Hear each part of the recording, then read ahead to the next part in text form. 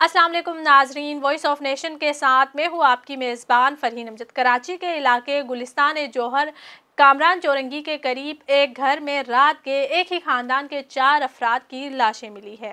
मरने वालों में खातून समेत उसके तीन बच्चे शामिल है। जब यह वाक़ पेश आया तो घर के सरबरा घर में मौजूद नहीं थे, जिसके बाद पुलिस ने फौरी तौर पर कार्रवाई करते हुए उस खातून के शोहर को गिरफ़्तार कर लिया है।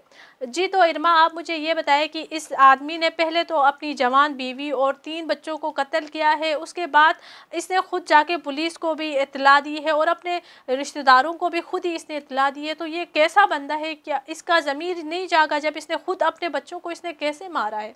जी फरीन, बहुत अफसोसनाक ये वाक़ हुआ है और सफाक बाप ने अपने बच्चों को भी कत्ल कर दिया और अपनी बीवी को भी और रिपोर्ट के मुताबिक वो नशे के आदि थे और बड़े महँगे वो नशे करते थे जो कि एक दिन की मालियत मेरे ख्याल से पंद्रह से बीस हज़ार बताई जा रही है। और पता नहीं मतलब ऐसा क्या घरेलू तनाज़ा था कि बीवी को भी ना छोड़ा और मासूम कम सिन बच्चे जो कि दस साल के अंदर अंदर गालिबा जिनकी उम्र बताई जा रही है।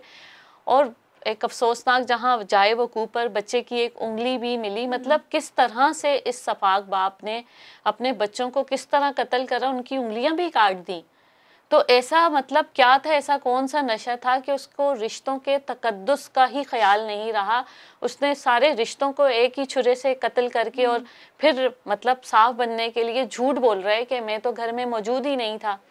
और जब पुलिस वाक़े पर आ गई और फिर इनके पैरों तले से ज़मीन निकल गई कि ये क्या हुआ तो बयानात में जो ये तब्दीली कर रहे थे उसकी वजह से इन पर शक हुआ बल्कि साइमा के जो वालिद हैं जो इनकी वाइफ थी उन्होंने तो इनके ख़िलाफ़ रिपोर्ट भी दर्ज हम्म। करा दी कि हमें इन्हीं पर शक है बहुत ही अफसोसनाक ये वाक़ हुआ है और मैं बहुत ज़्यादा जो है इस फैमिली के साथ इनके वालिद के साथ इनके गम में हम बिल्कुल शरीक हैं अब मज़ीद देखें क्या ये आती है रिपोर्ट और मज़ीद क्या इस आदमी ने ऐसा क्यों किया?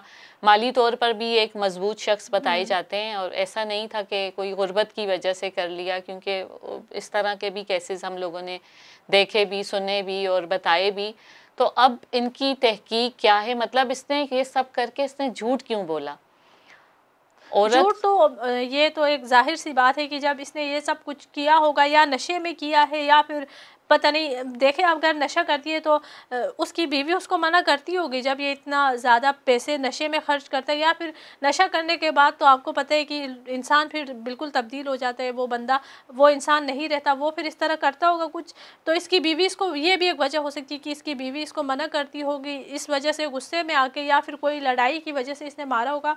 लेकिन देखे, अगर इसने अपनी बीवी को जिस भी तरह मारा हो, लेकिन अपने बच्चों को इसने ज़बा किया है मतलब वो बच्चे कितना चीख रहे होंगे कितना चिल्ला रहे होंगे एक बंदे ने मतलब ये समझ में ना आने वाली बात है ना कि एक बाप ने अपने बच्चे को ज़बा किया है। गोली मार के अगर कोई मारता तो ये इतना मुश्किल नहीं होता। उसने ज़बा किया है बच्चों को तीनों को ज़बा किया और साथ में अपनी वाइफ को भी उसने ज़बा किया है। मतलब उसके हाथ नहीं काम पे उसका उसको लर्जा नहीं हुआ हम्म। उसने कौन सा ऐसा नशा करता था कि उसने सबको चारों को लाइन से लिटा के और छुरे फेर दिए उंगलियाँ भी मिली हैं और जब आपने देखा है खून वगैरह भी वहाँ पे हम्म। काफ़ी था और बहुत मतलब अफसोसनाक ये वाक़ है इनसे अब मज़ीद तहकीक क्या होती है इन्होंने इतना इतना बड़ा काम दस साल ज़िंदगी हम्म। इनकी उनके साथ गुजरी और आप बिल्कुल सही कह रही हैं कि हो सकता है बीवी मना करती हो कि आप हम्म। ये चीज़ें ना करें आप इस तरह पैसे इनके घर वर भी सुना है किराए पर थे और केबिल का इनका कारोबार था जो कि बहुत अच्छा चल रहा था। सोर्स ऑफ़ इनकम की इनकी अच्छी थी। और किराए का घर भी नहीं था ऑनर थे अपने घर के और चार किराए पर इन्होंने मकानात भी दिए हुए थे। तो असल बात हुई क्या है? ऐसा क्या हुआ है कि अपने लखते जिगर को इन्होंने जो है वो तेज़ छुरे से जो है वो काट लिया। हम्म। बहुत ही अफसोसनाक ये वाक़ हुआ। है मज़ीद अब देखते हैं कि पहले तो हम्म। झूठ बोला उन्होंने। लेकिन वो जब सवालों हम्म। में उनके मुख्तलिफ़ बयान थे तो एस एच ओ ने उसको ये चीज़ पकड़ ली कि ये ही कातिल है अब चूँकि उनके वालदेन और सब लोग भी वहाँ मौजूद हैं और उन्होंने भी यही कहा है कि इस ही ने ये किया है हम्म। अब मज़ीद क्या होता है मज़ीद आज शाम तक मज़ीद खबर आ जाएगी तो फिर देखते हैं क्या हम्म। कहा जा सकता है इस बारे में। बहरहाल बहुत अफसोसनाक ये वाक्य है। अच्छा मुझे ये बताएँ कि देखें जब ये नशा करता है जब नशा करके इसको इतना होश नहीं रहता कि इसने अपने ही बच्चों को अपनी बीवी को इसने जब तेज़ तेज़दार आले से उसने ज़बा किया है इतना इसको होश नहीं है कि सामने मेरे बच्चे हैं मेरी बीवी है तो इसको ये इसको कैसे इतना उसके ड्रामा इसने कैसे रचा इतना सारा एक ड्रामा किया है ना कि उसने उनको कत्ल करने के बाद उसने जाके पुलिस को इतला दी है सबको इतला दी है कि मैं तो नाश्ता लेने गया था जब मैं नाश्ता लेकर आता हूँ तो घर में ये सारी चीज़ें एक ड्रामा हुआ ना। अगर वो नशे में था उसने मारा नशे में है और कहा यह भी जा रहा है कि जब उसको गिरफ़्तार किया गया था तब भी वो नशे, नशे की हालत में था। तो उसने नशे में एक बंदा इतना सारा एक ड्रामा सोच के इस तरह कर सकता है क्या? अब तो वो कहते हैं ना सब हाथ से चला गया अब तो कर लिया था फिर उसने एक कहानी बनाई एक क्रिएट किया कि भाई अब मैं एक झूठी कहानी हाँ। बना लूँ और मैं मजलूम बन जाऊँ और मैं कहूँ मैं आया तो ये वाक्य ये हादसा हो गया था हम्म। और मैं तो खुद परेशान हूँ ये हुआ कैसे हम्म। तो अब ज़ाहिर सी बात है इतना मतलब गलत काम इतना एक बुरा काम बुरा बुरे काम का बुरा अंजाम हम्म। अब उन्होंने कर लिया अब उन्होंने क्या किया कि ये तो हो गया अब जो नशा करते हैं वो नशे की जो कैफियत होगी उसमें दिमाग बहुत ज़्यादा हम्म। तेज़ चलता होगा।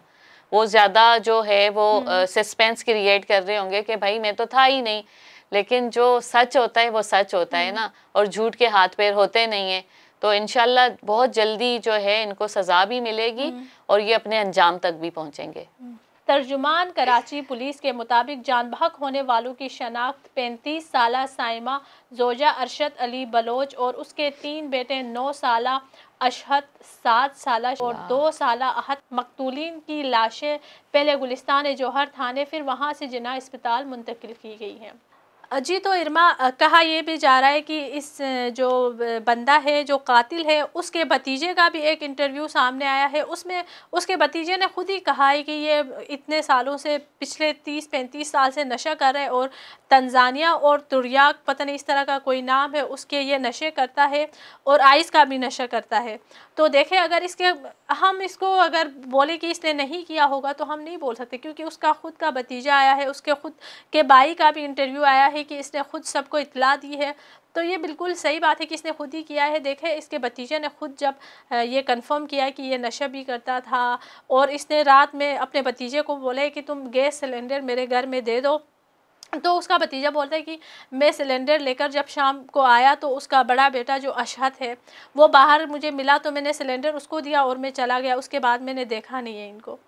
जी बिल्कुल इन्होंने ही किया होगा क्योंकि देखें भतीजे का भी बयान आ गया और हाँ। साइमा के जो वालिद हैं उन्होंने भी कह दिया और कुछ इलाका मकीन है उनसे भी बातचीत जारी और वो भी ये बता रहे हैं कि ये बहुत महँगे नशे करता था हम्म। आपने जो नाम लिए इस तरह के कोई बहुत महँगे नशे करता था और इनका सोर्स ऑफ़ इनकम अच्छा था तो हाँ। तो वो बेड चीज़ों में इन्वॉल्व थे अब जितनी भी इनकी फैमिली है भतीजा है सुसर हाँ। साइमा के वालिद हैं और इलाके के बहुत सारे लोग उन्होंने भी गवाही दे दी है हम्म। कि ये नशे में धुंध रहता है और ये नशा करता है और इनका केबल का भी नेटवर्क है काफ़ी बड़ा और इनकी वहाँ से भी अच्छी खासी इनकम आती है। अब ये इन्होंने इतना बड़ा कदम क्यों उठाया? बच्चों को भी मतलब कत्ल कर हम्म। दिया और बीवी को भी कत्ल कर दिया। ये जो मज़ीद तहकीक है ना ये हमें बहुत जल्द इनशाला घंटों में कल तक या आज ही हम्म। वो फिर हम देखेंगे कि इतना बड़ा कदम हम्म। इन्होंने क्यों उठाया। तो बिल्कुल वो इनके भतीजे और जो भी ससुर हैं इनके उन्होंने बिल्कुल सही कहा है और ये कसूरवार हैं ये मुजरिम हैं। बिल्कुल ऐसी बात है, इसके अलावा देखें, अगर खाली उसके जो ससुर है या उसके जो साले हैं, उनका बयान सामने आए कि हमारा, हम तो तीस पैंतीस, चालीस साल से यही रहते हैं, हमारे किसी के साथ कोई दुश्मनी कुछ भी नहीं है।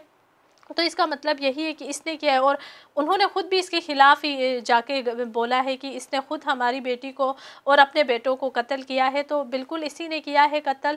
तो इसके अलावा देखें, इस केस के हवाले से जो इनकशाफात सामने आएँगे, हम आपको आगाह करते रहेंगे। इसी के साथ हमें इजाज़त दीजिए। अल्लाह हाफिज़। वॉइस ऑफ़ नेशन की वीडियोस देखने के लिए हमारा चैनल सब्सक्राइब कीजिए और बेल के आइकॉन पर क्लिक कीजिए, ताकि आप हमारी तमाम आने वाली वीडियो से बाखबर रह सकें।